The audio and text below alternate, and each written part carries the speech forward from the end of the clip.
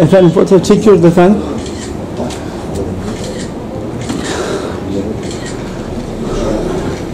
Çalışma ve Sosyal Güvenlik Bakan Yardımcısı Ahmet Aydın, Zonguldak'ta Genel Maden İşçileri Sendikası'nı ziyaret etti. Ziyarette AK Parti Zonguldak Milletvekili Ahmet Çolakoğlu ve Muammer Avcı, daire müdürleri, Amele Birliği ve Türkiye Taş Kömürü Kurumu yöneticileri hazır bulundu. GİMİS Genel Başkanı Hakan Yeşil, Bakan Yardımcısı Ahmet Aydın'dan Türkiye Taş Kömürü Kurumu'nda işçi açıklarının her geçen gün arttığına dikkat çekerek 2000 işçi alımının acilen yapılması talebinde bulundu. Balık Sendikayız. Ee, çalışan yazıyoruz. Ee, emek mücadelesi veriyoruz. Tabii ki yakın zamanda Sayın Cumhurbaşkanımızla da tartışmalar iki bin kişi vermiştik. Bilgilerimizle bunu paylaşıyoruz. Sağ olsunlar bize çok destek veriyorlar. Ee, bakanlık düzeyinde de e, bu işçi arkadaşlarımızın bir an önce e, iş gücü ile ilgili bir talebimiz var. Ee, çünkü ciddi anlamda işçi açıklarımız var. Ve iş güvenliği anlamında da e, e, ister taşımak. Bekliyoruz.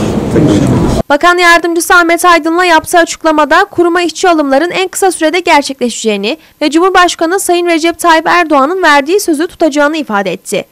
İnşallah Sayın Cumhurbaşkanımızın sözü elbette ki gerçekleşecek.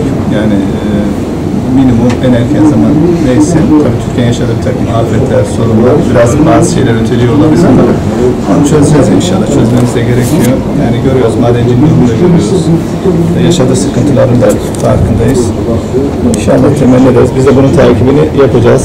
Zaten sağ olsun başkanım beni ilk ziyaret edenlerden biri. Sağ olun.